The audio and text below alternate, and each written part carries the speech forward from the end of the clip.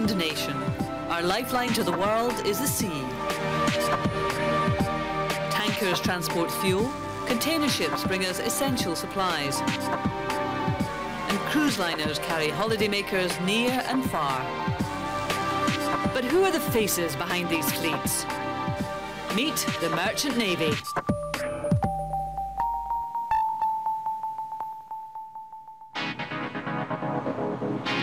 Across the globe, foreign shores, attractive pay packets and the challenges of the job draw over one million to the world of merchant seafaring. An industry on the increase, there is the continual need for new blood. Officer trainees who will take command of the fleets of the future. As we increase the number of ships we have, um, we have to find the people to run them. First year deck officer cadets Nicola Whelan, Suzanne Kelly, Craig Dwan and Callan Macquarie have undergone a gruelling training schedule. It's real, it's dangerous. They had to make the grade at college to proceed to the next phase of training. Three months at sea on a container ship. About 94%, so that'll do me. Former trawlerman Craig is confident at sea, but found the classroom much more difficult. Somewhat unfortunately, 42%. Yeah, I'll get there. But after some stressful resits, Craig Dwan, Craig eventually made it through. passed. That's me. Can definitely go to sea now. That's a huge weight off my mind. The pressures for Nicola were and still are very different. Having one failed career in physiotherapy behind her, at 29, she desperately wants to make this new profession work. I'm getting a little bit worried, like, what if I can it manage? What if it doesn't all go to plan? Exciting adventures ahead. For 24 year old Suzanne, following her dream was crucial, but it didn't make saying goodbye any easier. When I'm away, I think I'll definitely miss my sister the most. My sister's my best friend, definitely. And leaving his island home of North Uist was inevitable for school leaver Callan. Leaving the island is quite hard, but if I want to further myself, kind of good career and all that, I have to leave the island anyway. After their emotional goodbyes, these trainees took the 4,000 mile journey to Miami, where they are now scheduled to meet the Maersk Gateshead, home for the next 12 weeks. Lying ahead is a journey that will take them to Manzanillo in Panama before travelling through the Panama Canal and across the Pacific Ocean to ports in Japan, China and Taiwan. Also facing them are the tough realities of life at sea under the strict watch of Captain Mark Carter. Can you go and tell them whoever's making that noise to shut up? He runs a tight team and a tight ship. This is the toilet for the officer smoke room. It's not clean to my satisfaction. The port of Miami on the USA's eastern seaboard, a 528-acre island which boasts being cruise capital of the world and sees over 1,700 container ships pass through its docks every year. In 2007 alone, this port handled almost 900,000 containers.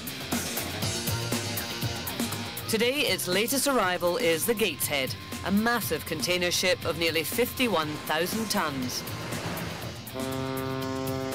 This vessel can carry up to 4,300 containers at any one time, shipping everything from grapefruits to cars to life-saving blood plasma across the globe.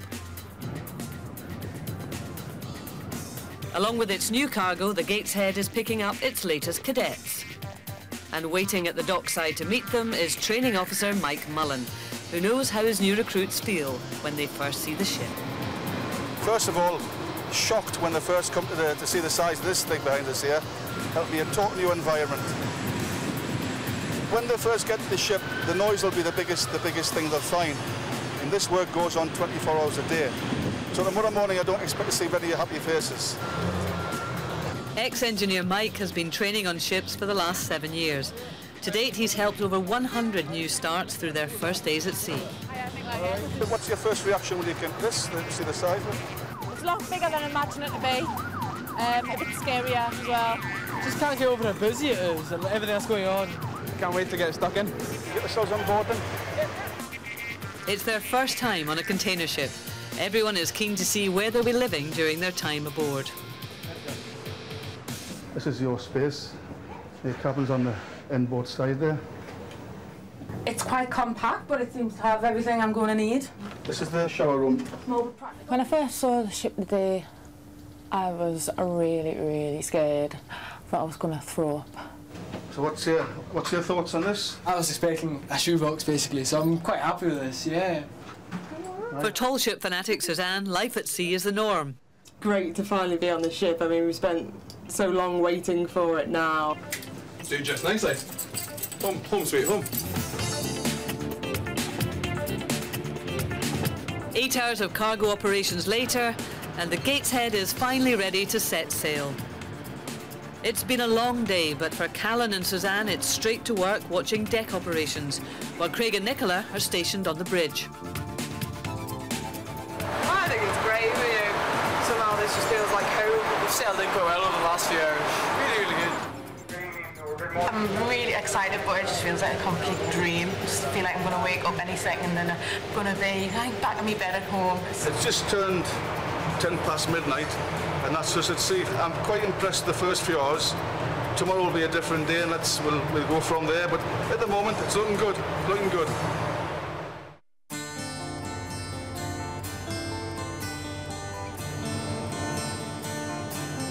8 a.m. and Mike is already briefing his new students on what they'll be doing on their first day at work. We'll all have to take part in the lifeboat drill. So do you know your lifeboat stations? Being a cadet training officer is really, really fantastic. I get to work with some wonderful young young people.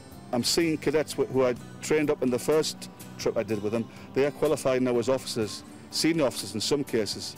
And I get a great deal of pleasure of, of working with them. It keeps, keeps me looking younger, I hope anyway. And it hasn't, hasn't changed my taste in music. I still can't get used to the music. This morning's situation is the, the captain has now agreed to a half-hour steering pattern. For Mike, this voyage is a particularly special one. It's my final trip on, on a ship, well, seafaring as it is, and it's it's a. I'm more relaxed with this one than anything else.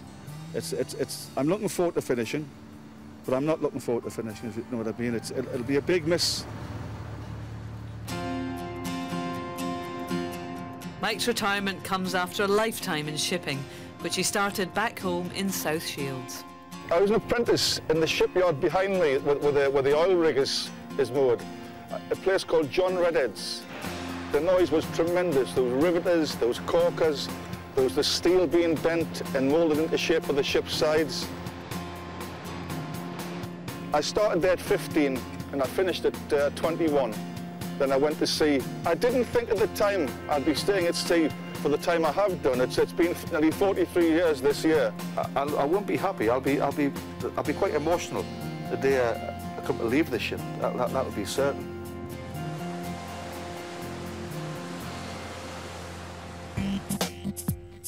On the Gateshead, day one on the job means instant responsibility for Callan and Nicola. Fourth Officer Andrew Niven is about to let them steer. We get used to just doing small, really small operations. So.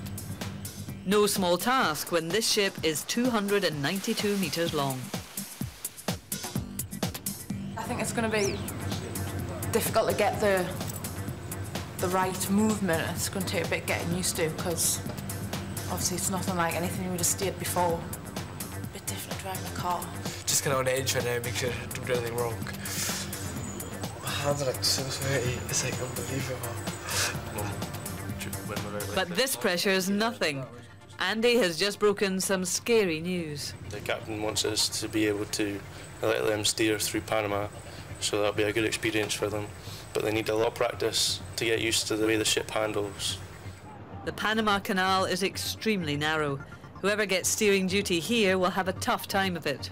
I was actually talking to my mum just a few days before I joined, and um, I was saying, oh, I'll probably do my steering ticket quite soon. And I, I just joked, oh no, wouldn't it be funny if uh, I got to steer through the Panama Canal? And then when I was told we actually would be, I was like, oh my. Out on deck, Suzanne and Craig are also getting hands-on experience on a job called chipping and painting. I think this is probably one of the less glamorous sides to the job. They're doing the cosmetic surgery to the, to the deck at the moment. Shipping areas where the rust is quite heavy built up.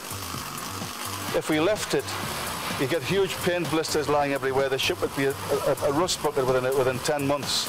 Probably not one of my favourite tasks, but I think there's something satisfying in it when you get like a, a big, massive chunk of rust or something and it all just like falls apart. Back up on the bridge, it's Nicola's turn to take the helm. Changing the helm, course 153. Okay, Small alterations, just like that, that's fine. It's kind of like them driving games in the arcade when you're like totally oversteer and you just Yeah. like that. And they've done okay for the first time. They'll get plenty of practice in before we get to uh, the Panama Canal, so we want them to get used to it, get, you know, focus on only one thing. But that doesn't involve focusing on relaxing. I've been here for about a day and I'm on my way myself at home. I'm now sitting in the pilot of the master's chair. I'm quite comfortable. I'm enjoying things. Callan has just made a massive mistake. Coming up, would you sit in this captain's chair? The cadets are supposed to tidy this. That means that I should be rather cross. And preparing for the ship's inspection, Suzanne makes a gruesome discovery. I found old toenails, fingernails from like whoever was in here before. I was like, Ugh.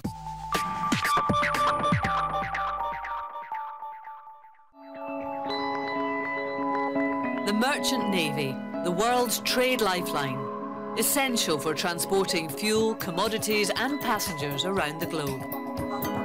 For four young officer trainees, a career in this industry is their ambition. Tall ships fanatic Suzanne Kelly, former trawlerman Craig Dwan, ex-physiotherapist Nicola Whelan and school leaver Callan McQuarrie have just finished five months of college. Now they've joined their first ship, the Gateshead. Home for the next three months, this 51,000 ton container ship is scheduled to sail through the Panama Canal, across the Pacific Ocean, and on to the Far East. Two days in, they're en route for Manzanillo in Panama, and everything is living up to their expectations. I keep pinching myself, just like double check that. Is it really this good? I joined the Merchant Navy because I wanted to be at sea. You know, I didn't even look at how much I got paid. Ever since I was young, I've always loved being at sea. So, so yeah, I, I feel, I feel great. Ex-physiotherapist Nicola feels this is her last chance for a successful career. I've tried a couple of careers before that haven't really worked out for us. Um, at the moment, I'm feeling really positive. It's very strange seeing a girl at 29 come to sea as a cadet, so it takes a lot of guts, courage to take a, a, a lowly paid position on at her age. She looks like she's the strongest of the, of the bunch, to be honest with you. Training officer Mike Mullen is responsible for assessing the performance of his new charges. Craig being ex-trawlerman, uh, you can see that. A little bit apprehensive at the moment because it, that's, that's natural. Suzanne, she's, I don't think she's as strong as, as Nicola, but again, very keen. She's keen to learn. Young Callan, the, the youngest guy, he's a bit like me, he talks a lot. Once we get his, his tongue nailed down to the roof of his mouth for a, a few minutes and get on with the job, he's going to do it. Unfortunately for Callan, his ambition to be captain is already getting him noticed, but not in a positive way. On day one, he made himself at home in the captain's chair. I wouldn't like to think whose chair this is in case it's a bit disrespectful, but it's comfortable right now, and that's all that matters. He came up to, straight away, took command of the captain's chair, which was a, a disturbing moment for most people on board because we none of us would do that. That is the captain's domain, as we know. And I, I, I will later on, I mention the chair, especially if the captain's around. And Mike is not only delivering a few words about the master's chair, Sunday means captain's inspection, and that means cleaning. The old man wasn't too happy taking off his seat on the bridge, I'm afraid. Okay. And uh, when he's talking about anything, try and keep your tongue in. Listen to what he's saying, take it on board anyway. But the basic thing is vacuum the, the, the, the floor, for the deck first, the floor. Take any loose objects up, clear anything loose clothing away. Sunday morning, uh, half past ten, we always have a, an inspection of the vessel to make sure everything's clean and tidy. Hi, Suzanne, Nicola, how are you Hiya. doing? Hello. Are you ready for the big day? Yes. Normally, when they come in the cabin, if if it's everything's sort of flat, there's, there's nothing to take his eye away from anything else. Nice flat cabin, quite happy. Okay. See you later then. Cheers, mate. Bye. Bye. Just over an hour to get everything done. Shouldn't be a problem. Suzanne's doing the toilet. This could be Callan's opportunity to impress the captain. But it seems there's no rush. In people's cabins, I expect it to be clean, dust-free, everything, well, it, there's a term shipshape. Everything to be shipshape. I like cleaning, but just once in a while. I'm not tidy at home at all. I would have my place look as spotless as it can be. Uh, it'll get done. We are. If a crew member kept his cabin in a poor state, then obviously I would be cross. While some of the trainees clean their cabins, the rest of the crew are hard at work. There are always jobs to be done when you're part of a small team at sea. See, I've always liked my crew, even the bad ones. But the crew I have now are excellent, absolutely excellent. First class. Chief Engineer Ian Proudlock agrees. I think we're, we're quite a happy team. We're always laughing and joking, but when there's work to be done, the work gets done straight away. The people make the ship. Ian's crew of four are a tight-knit team who ensure the efficient running of this 59,000 brake horsepower engine. The ship's like a, a swan. You see a swan on the water, you just see it floating along, but underneath, the legs are going. No, I think that's like this on a ship. Above decks, Morning, Jacek. Morning, Thaddeus. the captain has begun his rounds. I think we better make a start to this this cleaning. Sorry, right, here you are, like. Right, see you, man. The girls are pushing on, but Craig and Callan may just have left things too late. Especially when the captain is so particular. And on the technique front, it's not looking promising for Callan.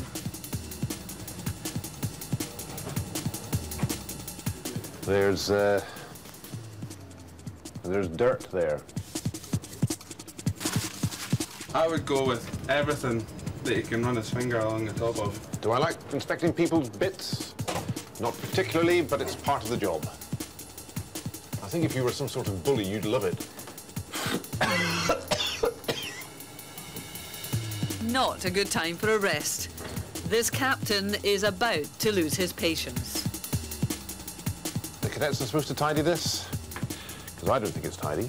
I can see untidiness. That means that I should be rather cross. After some last-minute touches, it's time to get into uniform and await the captain.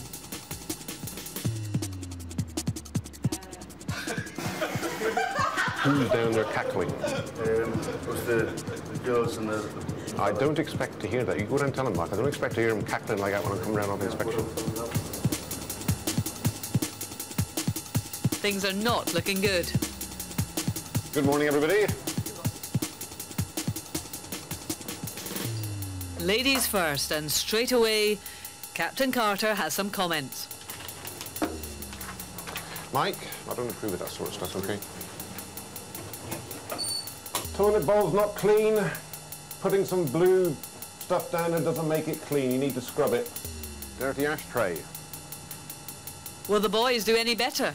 This sink isn't clean. Now for Callan's room. Whose cabin's this? It's clean on top of your picture now because it's all on my finger. But despite that, Very good, actually. Right, thank you very much indeed, gentlemen. all in all, the captain's happy. There weren't any serious problems in the cadets' cabins this morning. It's just unfamiliarity, I think. As he's coming in the corridor, I was just getting more and more nervous for some reason. I think the captain was being quite strict this morning, just to let me know what kind of level he expects. I found old toenails and fingernails from like whoever was in here before. I was like, I'm going to keep this immaculate between the hours of, you know, 7 and 12 on a Sunday.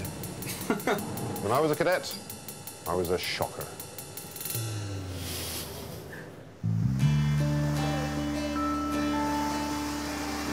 After the stresses of the morning, the cadets have some time off. For Mike, this is an opportunity to take some time out in his favourite place on the ship. I've always found a need to, to take myself away from the noise, the hustle and bustle of, of, of a ship.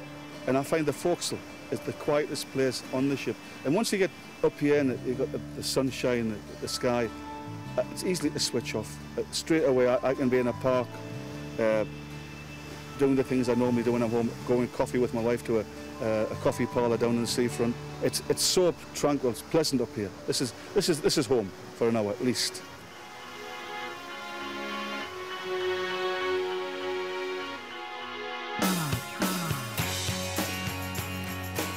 Next morning, and the Gateshead is approaching the Panamanian port of Manzanillo. While Callan and Suzanne are on bridge duty, Craig and Nicola are helping prepare for arrival. They've survived the first leg of their three-month voyage, and things are looking good. Obviously a lot of hard work involved, but bonuses far outweigh how much work you have to put in. It looks cracking from here, man. This is the best, best seat in the house when you're coming into port. Absolutely amazing. Such an amazing sight, all the hustle and bustle of the container yard. Everything's so different. We're all just learning together. I mean, it, you know, we're all in the same boat. Not to sound really, that's a really bad pun. We're all in the same boat. Oh no, oh no. I've sailed with quite a few cadets. Some you can tell straight away you're, you're in the wrong job. Some cadets look like they're going to go all the way, and these, these four look like they're going to be very good. I'm more settled now with the four cadets we've got after seeing they've been on board for two or three days now and it's they're looking really really positive thoughts oozing. It's great. Next time on the Merchant Navy, mixed emotions from Mike as the realities of looming retirement hit home. being away from the sea and, and certain certain days it'll, it'll be it'll be a miss. I don't know how I'm going to cope with that one And the trainees experience one of the world's most amazing feats of engineering, the Panama Canal. I'm just gobsmacked. The sheer scale of it, it you can't even imagine.